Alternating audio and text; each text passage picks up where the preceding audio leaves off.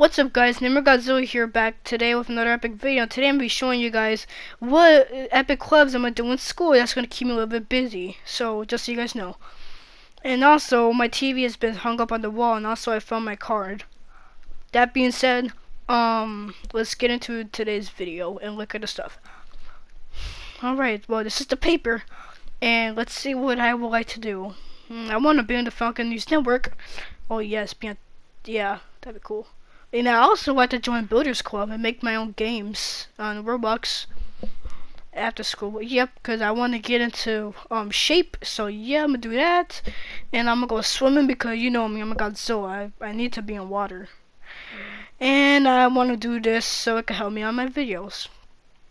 Well, that's all guys. Stay tuned and stay nightmare. Peace out.